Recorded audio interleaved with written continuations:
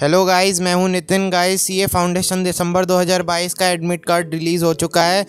उसके नए मेथड के बारे में बात करेंगे, कैसे हमें डाउनलोड करना है, ये आप लैपटॉप डेस्कटॉप फ़ोन से भी कर सकते हैं। सबसे पहले हम क्रोम ब्राउज़र ओपन करेंगे आई सी पोर्टल सर्च करेंगे। फिर उसके बाद हम आई पोर्टल के होम पेज पर पहुँच जाएँगे। फिर उसके बाद हम self service portal for existing member and student पर क्लिक करेंगे।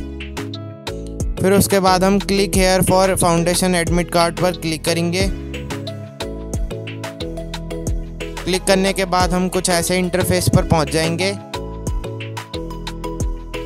फिर उसके बाद हम यहाँ पर अपना रजिस्ट्रेशन नंबर एंटर करेंगे और अपनी डेट ऑफ़ बर्थ एंटर करेंगे।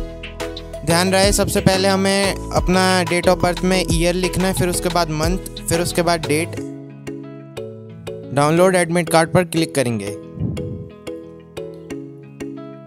फिर उसके बाद हम कुछ ऐसे इंटरफेस पर पहुँचेंगे। फिर यहाँ से हम गाइडलाइंस एक बार रीड आउट कर लेंगे। आई एग्री पर क्लिक करेंगे। ये सब आप पढ़ लेना एक बार। आई एग्री पर क्लिक करेंगे। ओके पर क्लिक करेंगे।